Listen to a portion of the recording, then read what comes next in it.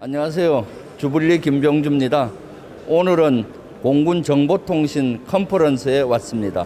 4차 산업혁명 시대를 맞이해서 AI 기술이나 디지털 기술, 데이터 기술을 공군 무기 체계나 또는 공군의 부대 운용에 어떻게 적용할지에 대한 컨퍼런스입니다. 오늘 저는 축사를 하고 시연을 관람하면서 앞으로 공군에 어떻게 접목시킬지 군을 어떻게 디지털한 강한 군으로 만들지 고민하는 시간을 갖도록 하겠습니다. 국회 차원에서 예산이라든가 여러 가지 지원을 할 예정입니다. 오늘 하는 목적이 뭐죠? 저희가 이제 인간의 이제 발전된 신기술을 이제 우리 공군 임무에 어떻게 이제 적용을 해서 임무 혁신을 할 것인지 이런 부분들을 서로, 서로 이제 공유를 하면서 신기술을 이제 이렇게 전시된 것들을 좋은 의견들 주시면 그런 부분들을 정책이나 사업에 반영을 해서 저희 공군의 이제 임무를 좀 더 혁신하기 위한. 오늘 컨퍼런스의 그 주제는 핵심 주제는 뭡니까? 4차 산업혁명 기술, 그다음에 AI, 빅데이터 이런 부분들 가지고 디지털을 융합 기술을 이제 이야기를 많이 하는데 그런 이제 민간에 발전돼 있는 AI 그런 빅데이터 기술들을 논의하기 위한 자리입니다.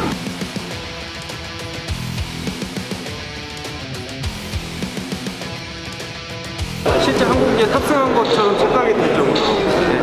그렇게 해서 어, 교육 효과를 높이기 위한 저희가 자체, 시- 자체 기술을 만드는 거예요. 항공기를 이제 모형 그 자체로 연습할 수 있는 거죠. 예, 지금 공군에서 어, 운영 중인 네, 기체고요. 이거는 어, 감시 정찰기입니다. 아, 그러므로 아, 그러면 요게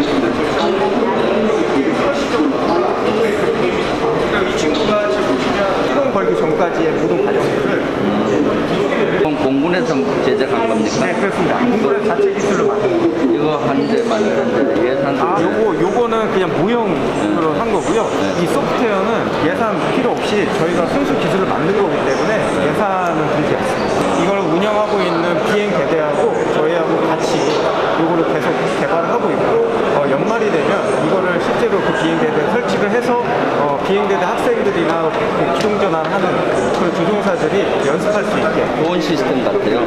특히 우리 공군 정보체계 관리단에서 이런 시스템을 만든 거는 아주 놀라운데 그런 것들을 이용해서 훈련을 하면은 훈련 효과도 오르고 예산도 증가합니다.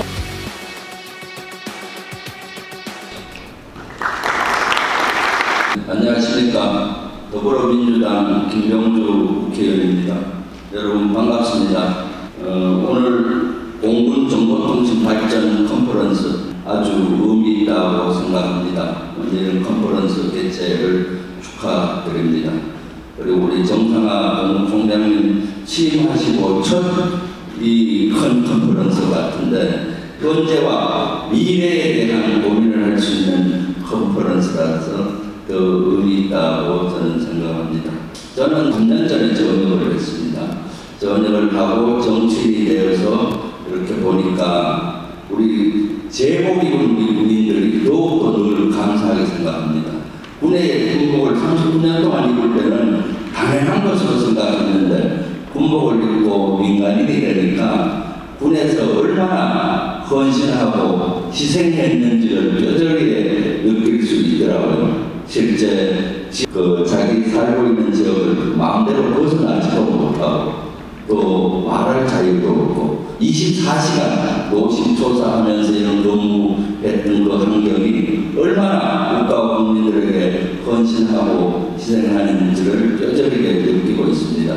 오늘 제복 입은 여러분들 너무 감사합니다. 우리 오늘 제복 입은 그 우리 군인들을 위해서 박수 한번 치시면 좋겠습니다.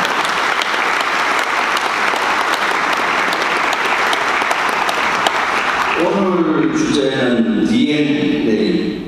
디지털 네트워크, AI 기술을 기반으로 앞으로 공군이 스마트한 강군으로 어떻게 나아갈 것인가에 대한 고민입니다. 사실은 이 DNA는 무엇보다도 저는 중요하다고 생각합니다.